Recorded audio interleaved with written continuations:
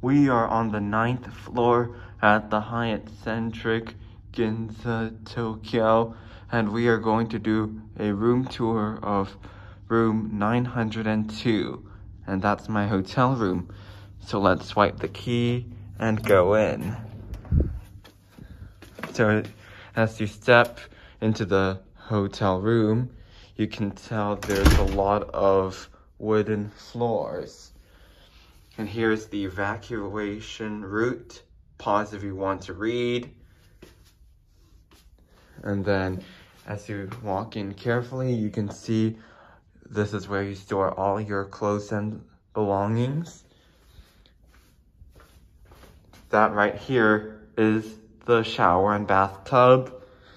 And that right here is the toilet. There's the sink right there.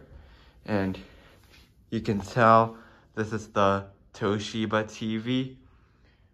And there's my bed. And I'm going to sleep on this bed. And that's it with this hotel room tour.